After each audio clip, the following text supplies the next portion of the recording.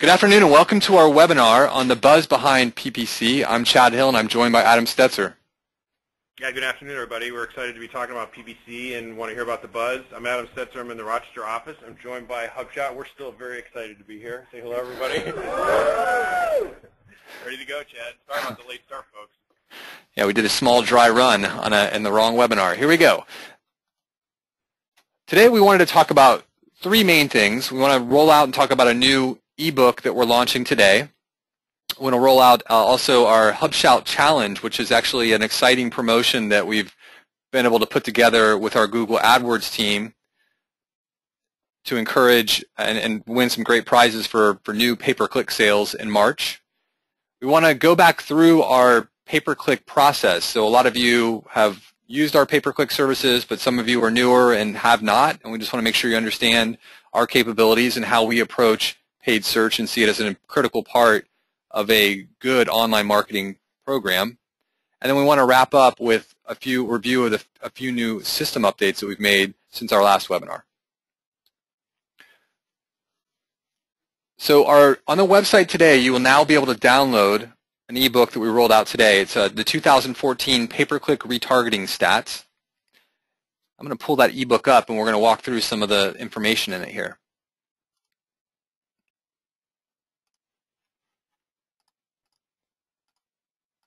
So what we were able to do was actually go out and survey about 300 people to ask them about how they their understanding of retargeting and then whether or not they see it as something that helps them on the web or something that gets in their way.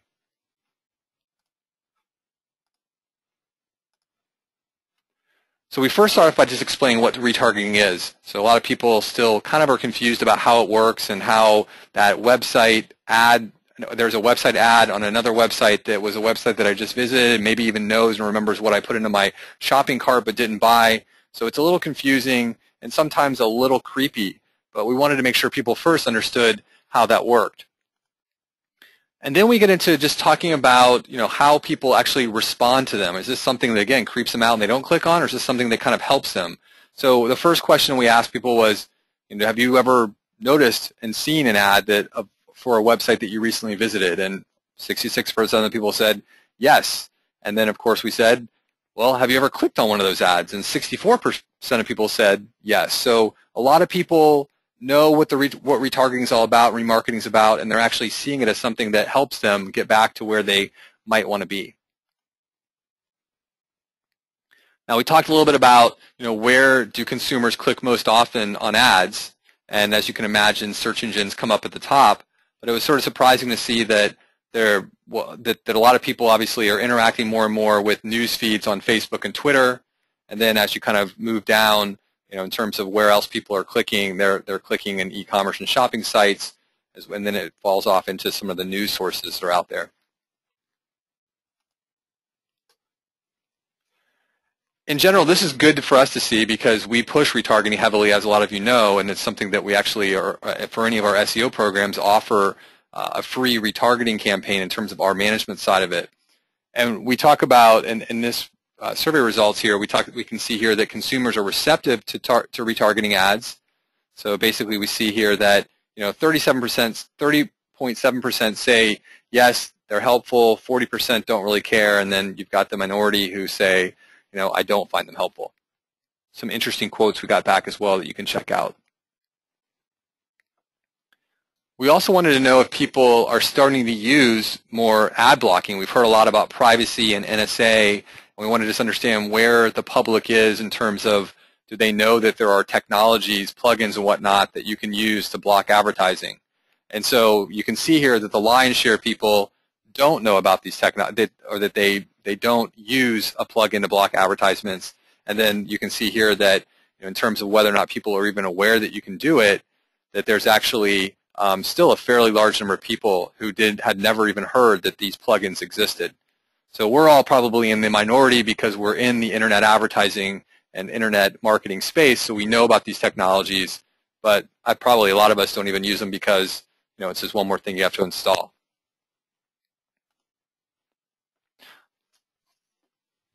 So this ebook is available for any of you to download, again, on our website. If you go to resources e, uh, then under ebook section, this this uh, research is there, and we hope this is something that you know you can use when you're out talking and selling to your clients. Some of the stats that that uh, would help suggest as being a useful thing for for them to add on.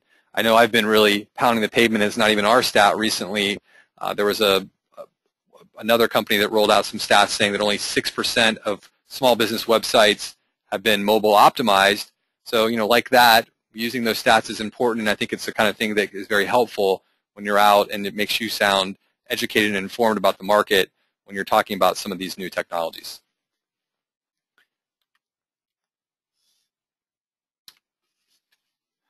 Okay, so next on the list here is the HubShout Challenge. Now the HubShout Challenge, this is something that uh, Dave, our team leader on the AdWords, on our paid search team, and the rest of the paid search team, worked with our Google reps to put this together. And it's pretty cool what we've been able to, what they've been able to come up with. And so really what we've got is starting essentially now through April 15th, the reseller who is able to sell the most paid search will win a Nexus 4 phone, a Nexus 7 tablet, and a Chromebook. And that's all three of those things. So it's a pretty cool opportunity. So for any of you resellers out there who have some uh, pent-up potential paid search leads out there, now is the month you probably want to try to sell those sell those leads. So the way this is going to work, and I'm going to is you can go to hubshoutchallenge.com, and I'm just going to toggle over to that website really fast and show you uh, what we've got there.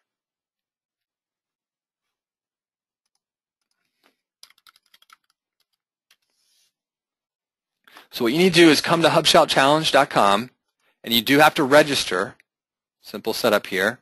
And then there also are the rules and the prizes. So just to dig in a little bit more on the rules, there's actually is a point system. So if you just go sell a bunch of really small accounts, you may not win against someone who sells a fewer but larger number of account, large, bigger media spend accounts. So uh, Google helped us map sort of some budget ranges to our, our programs. And basically the way we've worked this out is that there's going to be two points per starter SOW signed off, five points for one of our grow plans, and 10 points for a basic.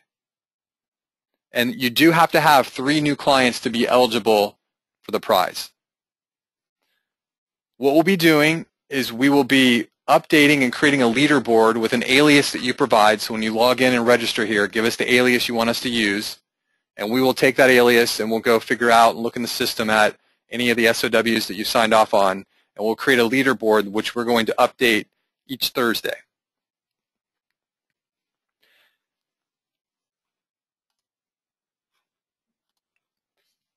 And again, this is going to be starting started effectively on March 3rd, but it's going to run through April 15th. And on April 15th, at the end, close of business, we'll go tally all the final numbers and we'll announce the winner.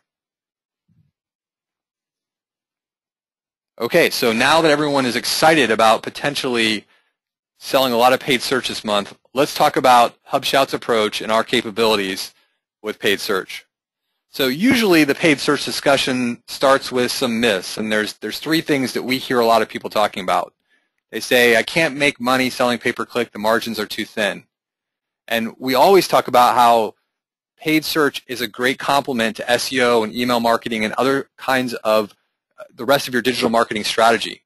So while in some cases that may be true that, that paid search, because a large part of the total spend you're, you're selling is going into media with Google, the margins may be a little lower, but if you position it right as part of an overall marketing program, it can be very good at keeping your customers for the long run because you have sort of more legs to the stool of, of your digital marketing strategy. Another thing we hear sometimes is that my client says they had a bad experience with pay-per-click. And again, we've seen this a lot, and that's a lot of it's because there was a mismanaged account at some point, or maybe they were working with the kinds of vendors that mark up clicks. So what that means is that you know you pay $1,000 and that vendor might only really put $500 into media and keep the other $500 for for management. And it's not so much that that you that people don't get that you have to pay for the management. It's just that it was maybe misleading to them. So that's one of the reasons we're very transparent about. You know, you've got your management time and you've got your media expense, and we keep them separate. And yes, sometimes management, you know, it, it is a percentage of, it ends up being a, uh, especially for smaller budgets, it can be a, a, larger percentage of the total spend. But as long as we're keeping it separate, I think that usually sits better with the people that we've worked with. The final one that we hear sometimes is that you know either my client or me in some cases say they can manage it on their own. And again, we've seen a lot of cases where when we've dug into those kinds of accounts, there are some very simple errors that end up getting uh, being made and people are sort of penny wise pound foolish because they may be running the display network and bidding the same exact price on the display network as they are on uh, a search network or they may have search partners on and maybe they shouldn't and they're not they're not segmenting out the campaign and looking for opportunities to to better optimize or again one that's very very common is that they're not looking at their search query report to know exactly what people are searching on and they may be actually paying for clicks that aren't even relevant to their business. So I've seen it in many, many cases where when you actually look at that and you say, hey, look, of this $1,000 you're spending, I can see just without even digging too far, three or $400 in here that's being spent that shouldn't be spent. That's oftentimes right there enough to say, let me take that over and get you more for the money you're currently paying. I'll spend less money the, on the media, but we'll be able to spend it way more effectively. So a lot of people will say, you know, how can a small business compete? I've got all these really big national brands out there. And the cool thing about pay-per-click is that it, allows you to compete because you can go about it two different ways. It, you, it allows you to geo-target your keywords, those national keywords, at a local level. So, you know, while 1-800-Plumber or some national lead aggregator is the one who's trying to optimize their website on, on plumber or a dentist, whatever the, whatever the head term might be, with paid search, you're able to go into your specific geographic area and say, I want to bid on that term. And at the same time, you can go after a more longer tail keywords. So you can actually look past what those big national brands might be doing and look for specific localized keywords that you can also bid on. There's also a great opportunity to take advantage of display advertising. It used to be several years ago that smaller companies could not do display advertising because there were often fairly large commitments and um, you had to, there were minimum impressions that you were buying. So it didn't really make sense for the small business. But now with things like the Google Display Network, you have uh, access through a self-service channel to a lot of display inventory. And that means now you can use not only the search network, but you can advertise uh, using display and especially display retargeting. So these are really exciting opportunities that the small business didn't used to have.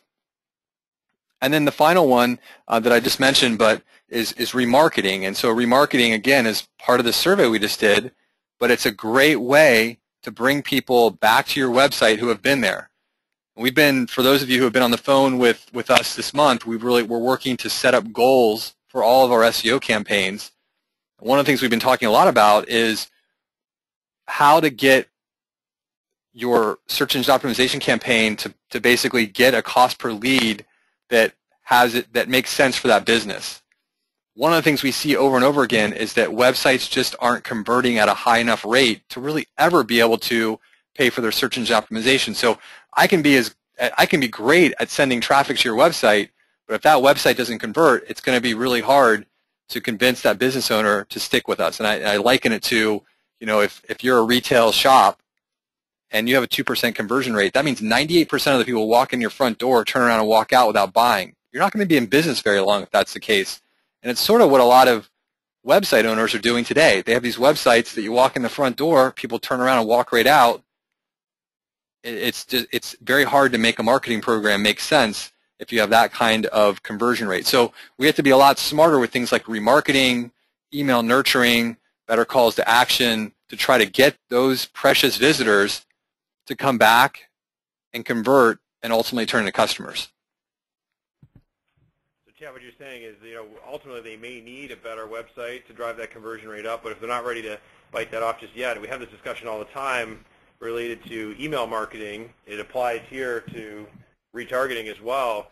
You know, you, do you want to have just one swing at that pitch, or do you want to have two or three or nine swings at that pitch? Once they've been to your website, you can then go follow them around with a remarketing PPC campaign that's, that's getting more swings at that pitch, or you can use an email nurture drip to try to bring them back. And it effectively increases the conversion of that website. Ultimately, you may also need to do a redesign of the website. Why not do all those things so it's performing in tip-top shape? But very compelling business case from the stats that you're showing here, Chad.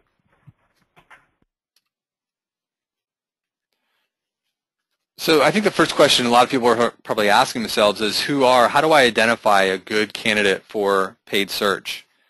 And the way to best do that is to, again, look at whether or not this is a, a product or a category people are searching for. There's kind of two buckets we've seen over the years of, of, of companies. There's companies that are um, essentially there's existing demand and they're just trying to tap into it. So those are your typical professional services, home services type of of brands, and that's where search marketing is great. If, if this group one day, at one point advertised in Yellow Pages, paid search is going to work well for them. The people trying to create a whole new category, so they've invented some new category. We had one time somebody who was um, had created some sort of uh, build-it-yourself UFO. I mean, there's not a lot of category, a lot of demand out there for for basically people um, wanting to build their own UFO in that particular case. So paid search isn't as good. You can search build my own UFO, and there's just not going to be a lot of people looking to buy that product. Whereas with someone looking for home services or professional services, there's going to be a lot more demand. The one exception to that is that there are some cases where the Google Display Network does allow you to expand your reach and, and build a category. But again, it's not the best the best solution. So there there are uh, different ways to go. Now, when you get down to the level of saying, okay, yeah, this is a category of someone who maybe used to use to advertise in the Yellow Pages, there are a number of different tools. There's the Google AdWords Keyword Planner uh, that's part of AdWords that allows you to go in and, and look for keyword buckets that might make sense and get a sense of the cost per click. And we're actually going to look at some new tools we've built into the dashboard that helps you kind of have this discussion in just a second. Um, but you're able to go in and get a sense of whether or not a particular client might be able to um, get success with paid search.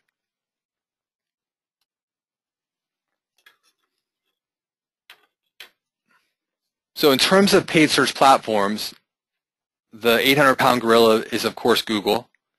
They have, in our experience, even though their search market share isn't quite 90%, when it comes down to, to paid search, we usually see it at around 90%, just in terms of of that's how much of the control of the paid search market they have. There's a lot of competition in there. There's a lot of people, and Google has shown to be pretty good at keeping the traffic clean. So they don't have a lot of issues with, you know, networks of people clicking over and over again. Whatever they're doing to contain that seems like it works works fairly well compared to some other things that we've tested over time. They have definitely have the best display and retargeting network. And one of the advantages is there's a lot of retargeting providers out there. There's people like AdRoll and other retargeting only platforms. A good chunk of those guys, though, actually a large part of the inventory that they're advertising on is the Google Display Network. So when you go through a third party that then just in turn advertises using the Google Display Network, you're paying a premium there because you're actually paying their whole fee before it even goes to Google Display Network. So a lot of times if that's what you're getting, if that's 80% of it, you have to kind of ask yourself, is that worth the markup? Now, again, some of these guys, because we're about to talk about Facebook, um, Facebook is very good when you have a specific demographic or behavioral interest that you can target based on what people are, are doing in Facebook. So Facebook is, is good. We, it's a harder place to generate leads, although we have seen in the education space and a few other categories, uh, the job category uh, and career category, we have seen some real success, but not as much success when you get into, again, that, that typical professional services and home services category. People just aren't really looking for a lawyer uh, and a plumber in Facebook. And, and, you know, as much as Facebook wants it to be that way, it still isn't quite there yet. But one of the emerging uh, places that Facebook's had a lot of success with advertising is they actually have opened up their inventory to retargeting. So one of the places that when you're looking at retargeting, you think about Google, Google doesn't actually own the inventory in Facebook. So that's where a, a network like an AdRoll actually does come into play because they're able to broker the deal both with the Google Display Network as well as Facebook. And then the final one here is Yahoo Bing, and uh, you know whatever the the name uh, of the day for for uh, you know, for Bing's ads, I think is where they are today. Uh, but it's been Microsoft Ad Center and it's been a couple other names over the years. But uh, again, I, we've seen they they want they're working really hard. We were at a conference earlier this week. They're very eager to try to take some some share from Google. Uh, they have made some changes over the years. It used to be that they were very much they were much more focused on the big brands. So a couple years ago, you weren't able to advertise on on the uh, names of other companies. Now uh, they're a little bit more lax about that. So who knows? Maybe this is something that emerges, and in some in many cases, the cost per click is a little lower um, on the Bing side. Yeah, Chad, I think you might have been at a session um, when we were down at the uh, local advertising, the Borrell local advertising conference in New York City this week. But when the Bing folks came over, they, they practically attacked Matt and I uh, for half an hour um, and saying, you know, what can we do to get uh, more of your partners uh, to advertise with us? So I mentioned that to Dave this morning in a meeting, and, and I'm hopeful that we can work out some very interesting incentive plans like what Google has done uh, with those Bing reps and, and try to leverage our buying power What's also interesting, Chad, is they said, oh, we have 30% market share, which is uh, interesting I'm not, I'm not sure I believe that number either. But yeah. they are making a very large investment to grow market share, so I think um, you know, hopefully more to come on that.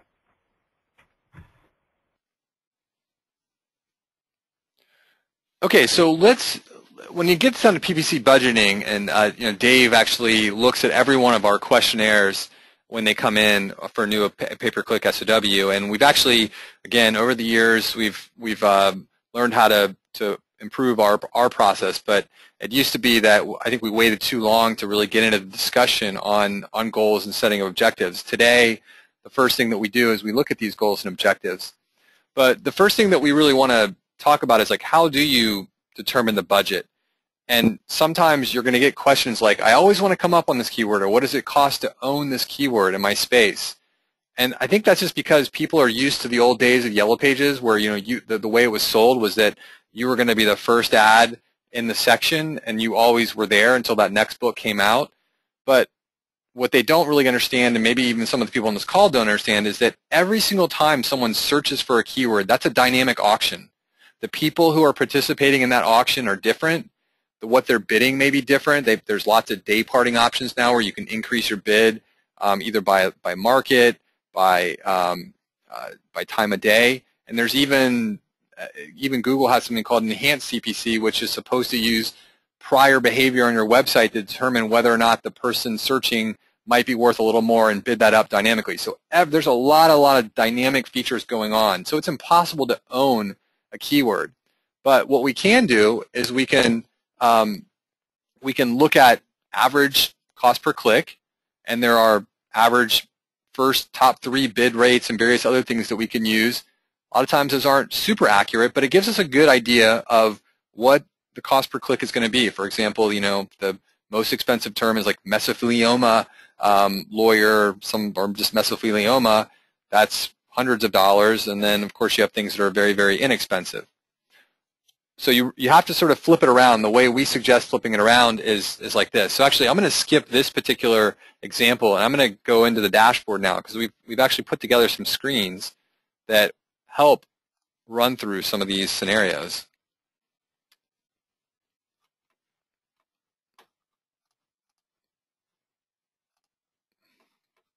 So I'm going to go to our trusty VetHubs campaign here. And for those of you who haven't been to the dashboard uh, for the last week or two, uh, actually this just rolled out this this week. Um, we've changed around under the Advanced tab. We now have a Performance and Goals section. And we had a number here, I think a week and a half ago, that said lead value, but we realized that people didn't totally understand that. So we built this little calculator, and it's pretty neat. So in the calls that, uh, that I've been on with a lot of you, we go through and we try to set up and understand what is the target cost per lead. So the first thing we start with is what is the value of a customer? And let's just take VetHubs. Let's say that VetHubs builds websites and does SEO, and on average, a vet will pay $500 a month, and they'll so they'll build build a website for $1,500, and they'll do you know one year of SEO at $500. So that's what $6,000, $7,500 is the average lifetime value of a customer. Okay. So we plug that in. And next we say, how many leads does it take us to actually close a customer? So what we might say in this case is that people, when they're getting everyone, you know, a lot of a lot of people will say, I close every lead I get, which you know that might be true with referrals, but I always I always I don't want to talk people too far down and saying, well, it's only a one percent close rate. But typically, when you're talking about doing lead generation marketing, leads off your website, you're not going to close 100%. Well, let's just say in this particular category, we close a third. You know, people get three quotes on a website and they pick a vendor, and we're pretty we're pretty average on doing that. So what we're able to do there is say that if a lifetime value of a customer is $7,500, and I close a third of them, that means that every lead I get is actually worth $2,475 in revenue, right? So you're like, I don't get the 2475, but every third one I should get 7,500. So if you think about it, the value of the lead is 2475. Now, no one would ever want to pay 2475 to make 2475 because you need to pay people and you need to have a profit and there's other things that happen. But what we've plugged in and said is that a 30% marketing cost is reasonable. So in this particular case, what we would say is that you know if your lead value was 2475 and a 30% marketing cost makes sense, then cost per lead is 742. Now you may look at that and say like, no way, that's way too high. I would never pay $742. But you can kind of walk through this calculator and say, well, why not? You could tell me, well, I don't want to pay a third, I want to pay, or 30%, I want to pay 20%, and you, we can certainly argue through different things. But the, reality is that as we've plugged these numbers in with a lot of clients, you start to pretty quickly get past that. People in their mind think a lead should cost $10 or $25. But when they really sit down and think about their business, in many cases, a lead is worth way more than that. So what happens here is if we say our target cost per lead is $742, um, which again, let's just run with for now, uh, what we would want to say then is, okay, when I'm looking at the cost per click and I'm doing my analysis and looking at paid search, I need to know that um, like how many leads do I when I'm starting to look at this, like we need to figure out like what is the conversion rate and does it make sense for the business. So if someone has a budget in mind, they're like, I'm going to pay you $2,000 plus I know there's going to be roughly a $500 management fee. Then for that program to pay for itself, you would essentially want to make sure that you had if you're paying $2,500 divided by 7, oops, opened the wrong account. If you're paying uh, $2,500 divided by 742, then we need to get three leads a month from paid search in order to hit your target goal.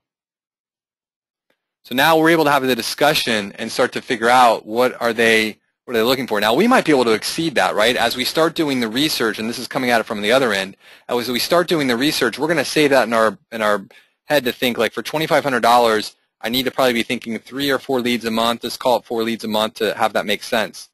As we're doing our research around keywords, we may realize that veterinary web design and veterinary marketing, maybe those keywords are really you know $8 a click.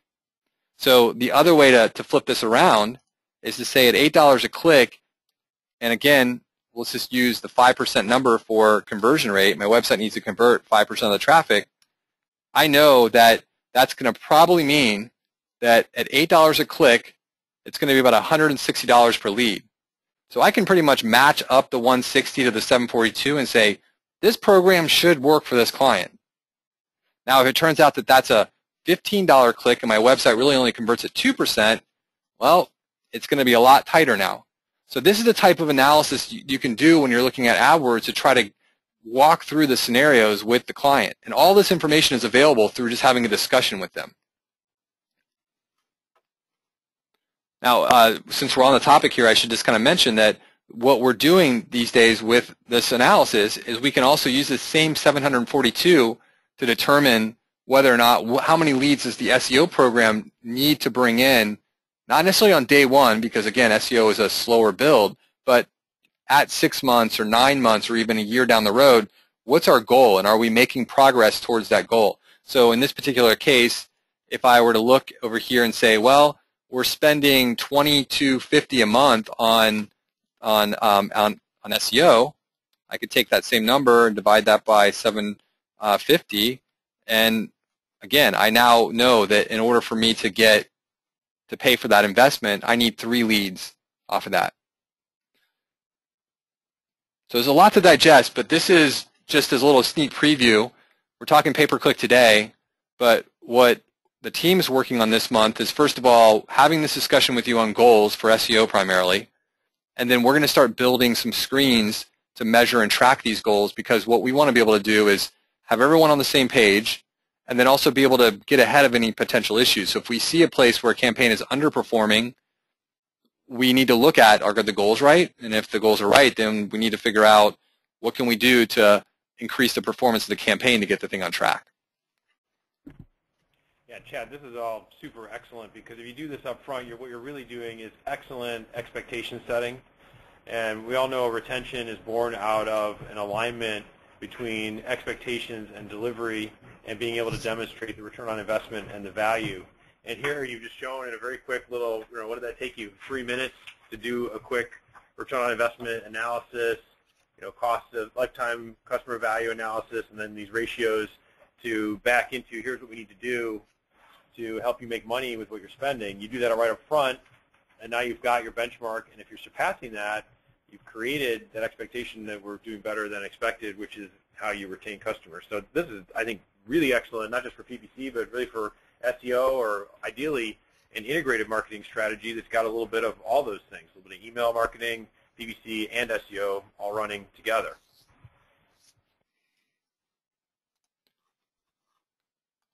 Great. Okay, so um, so we kind of talked a lot about setting those goals, and I know some of this stuff again feels a little uncomfortable. We'd be we have uh, some other calculators, and of course your account manager. You can talk to them, uh, and if we needed to get this into our training sessions, we could maybe even find a way to start incorporating and, and practicing this discussion.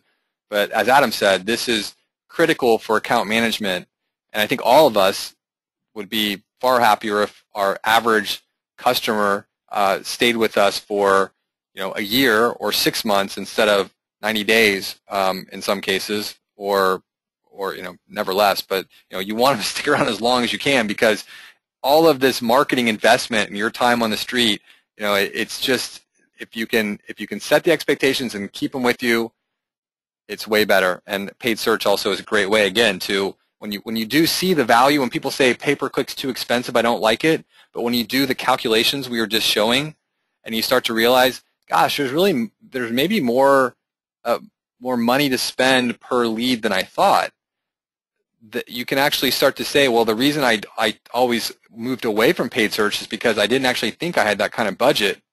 And again, maybe you say, well, I, I'm still uncomfortable with that number, but even if you're, if we can move you off of a $25 cost per lead to a 100 or $150 cost per lead, we've just opened up a whole new set of opportunities for what you can be doing with marketing and digital marketing.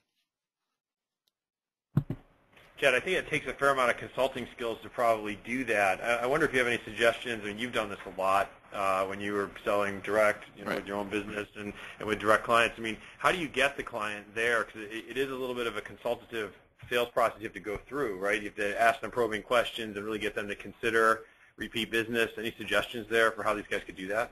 Yeah, I mean, I think we kind of laid it out. I mean, Adam, we, we, we spitballed this thing first, and we came back to it. We had, I don't know, 15, 10, 15 discussions, and I came back to you and said, we need to lay this out a little differently because the, the conversation, some of the key data we're not capturing. So we changed around the, the layout a little bit. But I think what we built here helps with that. I always start, because a lot of businesses know what a customer's worth. That's what they, that's what they know. They know, and, and, and if they don't, one, the one thing I do see sometimes people do is they will, they'll tell you, take an HVAC person. Well, you know, I got I have a bunch of different kinds of customers, and some of them are just need a filter replaced, and some of them need you know major repair, and so they always want to go towards well, it's really fifty dollar filter replacements, and I go, well, is that right, or is that filter replacement just sort of a lost leader to get your get your sticker on the side of their the, their heater so that they cover up all the other people that ever come to your house and put their sticker all over the place. So the next time there's a problem, they call you and really that that $50 was just paying for the gas and the materials to, to, sort of go to the next, the bigger repair a year down the road. So you have to get them to sort of think about really the average lifetime value. Now some people Uh, we were talking to somebody the other day that was in bus sales. Well, someone selling a bus, maybe if they only buy a bus every 10 years, maybe it's hard for them to get excited about paying today for potentially selling a bus 10 years from now as well. So I'm okay with that. Maybe that one's just a one-time sale. But understand and, and really get a, a good feel for what a customer is really worth to them. Plug that in. And then the next part, again, they're going to probably err on the side of actually giving you a number in your favor, which is when they say, um, well, how many of the leads you get in do you close? Or say, oh, I'm a great salesperson. I close every one of those leads. And I usually at that point say, well, I hear you, and that may be on the referrals, but but what's is it 50%? In a lot of cases, it is 50%. Sometimes it's a third, and there are businesses where it's less. But just have that discussion with them, plug this in, and then we're doing the math for you there, right? So we get the lead value, and then we give you the target cost per lead. So the only thing that's really arguable in in this whole equation that we just went through and is on the screen is whether or not someone we we know for sure that someone would never want to pay 24.75 to make 24.75. That doesn't make sense. So we know it has to be. You have to assume that there needs to be uh, cost for delivery and, and profit and whatnot. So 30% is just a swag at what a marketing cost should be. We're probably saying that a little high because we want them to want them to realize though that that uh, we we do want uh, them to sort of be able to to think about marketing as something that that you know does take some money. Um, so that's that's where that's the only place you could argue this. But that, look at that look at where that gets you. And I'll tell you, in most cases that I've gone through these scenarios, that number has been typically 150 or higher. And, and whether it's because the average cost per lead, um, the value of a customer is really high and maybe the conversion rate's a little lower or vice versa, but it's usually been 150. And, and I'll tell you, a lot of people, I think, in their mind just assume that's too much to ever pay for a lead. So having that discussion is going to open up a lot of other opportunities, including paid search. Said another way, uh, Chad, I think don't be afraid to challenge them on that, right? I mean, oh yeah. You know, people think people think in sales sometimes you just have to. Oh, the customer's always right, but no, you know, you're the expert. You're the search marketing expert here, and you need to challenge that because they, if they go in with that expectation, my lead should cost ten bucks, you know, you just they're just never they're never going to get there, and it isn't true. Um, so if you have a numbers-based process like we're talking about here, you'll get a lot further. And I think it was interesting, Chad, again at this um, Borrell local advertising conference this week, we had this conversation over and over again with big, big players. You know, we're talking about the Chicago Tribune and other big, you know, publishers who have their sales forces out trying to figure this very stuff out that we're doing with the uh, SEO reseller community here. So you know, this stuff is cool. It's on the cutting edge. I think I think that if folks embrace this, start using it as a sales consulting tool, uh, they will really get pretty far.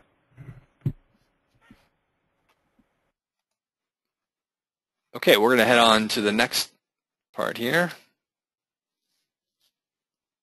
I'm actually going to, uh, these are some of the selling points that, that you guys can use. So every one of the people that work on our campaigns are AdWords certified analysts. We, the workflow that we're, that we've built has, does two things. It proactively builds optimization tasks that they have to review and complete. So there are things like check ad copy, um, review all keywords, do the search query reports to make sure that you're not there aren't extra extraneous keywords out there. So all of that is being built proactively. But at the same time, every day when our analysts come in, there there's a score on their campaign to let them know how close they are to hitting the goals for that campaign. So we manage and reward people based on whether or not they're hitting the performance of their campaign. Now, there are cases where they may not be hitting the performance of their campaign, but what that does is that creates a discussion because they want to, our analysts want to do the best and want to hit as many, hit their goals on as many campaigns as possible. So they're going to be talking to the account manager who's going to be talking to you and you're going to be talking to the client about why maybe we're off the goals and what we can do to get things on track. Is it that you know the website's not converting as well as it once had, or is it that it was never the goals were never as realistic as we thought they were? But having those discussions, again, as Adam said, being proactive there is really important. Um, we also have I mentioned Dave. Chris is our um, paid search team lead. He's working with each of our analysts. We have a weekly meeting where we go through all of the scores and we talk about it. And then a nice thing at the end here is that all the data is reported in the dashboard.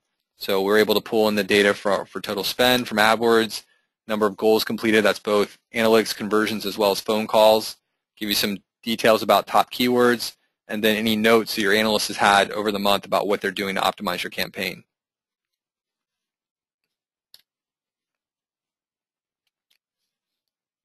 Okay, and we have some other you know, items here about just our approach. And again, we talked about the dedicated AdWords certified analyst, talked about this, the goal scoring. Um, we are both, again, proactively uh, reaching, uh, being told to go optimize parts of the campaign as well as reading that score and then going in and adjusting if, if, a, if a score is off. Uh, and we, of course, are, are maximizing click-through rate and conversion rate on ad copy.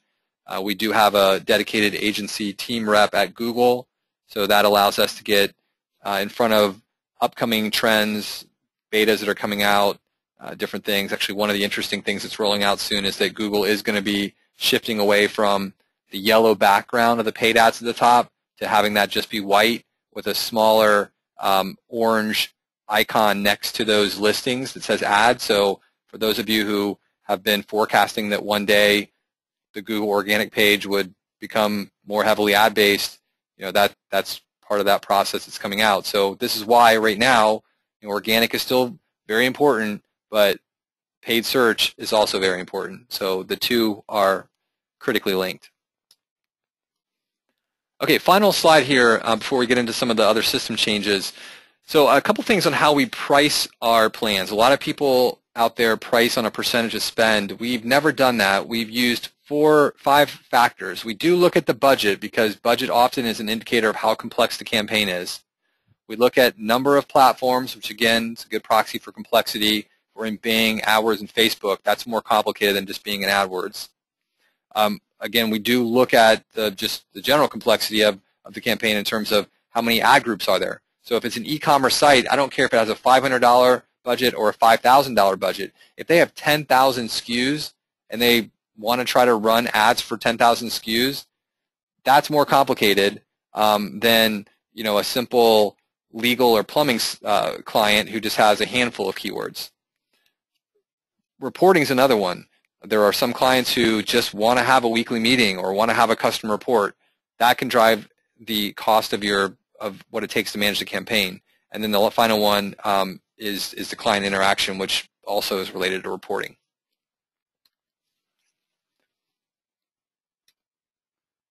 Okay, and in terms of, of retention on paid search, we we kind of hit that. It's I think setting up for upfront expectations, but then also making sure we're properly tracking the campaign. So through the software, we can track phone calls, we can track web leads, and and those are important things to being able to retain a customer over the long run. If they see that they're getting value out of the program, they'll keep it. If they're not, if they don't see it or they don't know they see it, then the chances are much lower.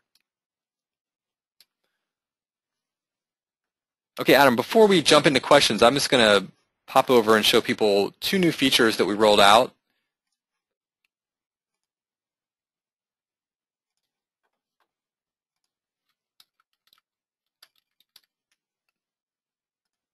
So on the sales screen, uh, we now have a date filter. So some people had been wanting to be able to better control the date ranges of the data in these tables below. So now you have the ability to look at last month's data. These used to be just month to date. So now you can actually see last month's data uh, and see essentially where your web leads came from, where your where your phone calls came from, and keep track of that. We also added those same filters to the lead screen um, as well as the phone calls. There were a few of our reseller partners who have have lots and lots of phone calls, and so what we were able to do here is you can now set a date range. So if you want to see your phone calls from last October, and normally those would have no longer been showing, you can now set your date range to last October and get a list of those um, those web leads. Or, I'm sorry, those phone calls or web leads, depending on where you are. And I think with that, Adam, we kind of wrap up on the on our um, our webinar today. Any questions out there? Yeah, I do have a few for you, Chad. Just a couple. Um, the first is going back when you mentioned that the conversion rate of a website can be helped with retargeting. Can you offer us any guidance or your experience on how much higher a conversion rate you could achieve if you ran PPC retargeting? Yeah, well, I think that it, it's it, there's there's some math there. So basically, if um, you essentially, if you're bringing someone who's been to your website, if your conversion rate is is two percent, um, but they come back to your website, the conversion rate is going to be higher because obviously they're they're interested at that point. And a lot of people are on your website, they get called away, they get called into a meeting, the phone rings, whatever, something happens, and they they leave the website. So uh, I don't have an exact multiplier, and it's something that you you almost need to kind of test into to get a sense of what your conversion rates are. But they're definitely when when you're bringing that visitor back, their conversion rate will be higher. And so if you kind of think of adding the cost of that back to the the traffic or somehow attributing some of that conversion value to the original visit, um, that's really how you start to, to, to make sense of why it why you want to, to use retargeting. Even though you've technically already brought that person to your website, if they left and didn't convert, they're probably not coming back. Yeah, I'd be interested in a, a case study on that or some sort of, you know, map to answer this person's question because I do think it's very interesting. And I think, yeah, you, you said it well, Chad. If you're, you know, spending, you know, 800 bucks a month retail as an end client to bring a certain amount of traffic, if for another two or three hundred dollars you could drastically increase the performance of that first $800 you're paying. That's another way to look at it. It's sort of like a rocket booster. You know, you're you're just you're, the value to cost ratio is not linear. It's just there's such a higher return on that last $300 you might add into that campaign by having retargeting running that's going to go chase these folks back around and bring them back. So I think the value proposition is just super strong. And then here's the last one, and this is really more a comment, Chad, than a question. This person wrote in, I really think every reseller should be running retargeting themselves for a couple reasons. One, they'll know how it works, and two, then a lot of the people that they're selling to will have seen their ads all over the place, and it's a great discussion when they say, how did you do that? And you say, buy my product, and I'll show you how. So yeah. I think that's an excellent point. I appreciate those comments from the chat window, and uh, you know, again, we just we can't can't oversell this product enough. Just put the turbo boosters on your SEO or on your PPC with both, you know, the email nurturing process we talked about a few weeks ago in this uh, webinar forum, as well as retargeting. It's a great way to go. Well, that's great. I did have one final thing. I just want to remind everyone that as we announced in the last webinar, we have launched our PR press release plan upgrade, our premium press release plan.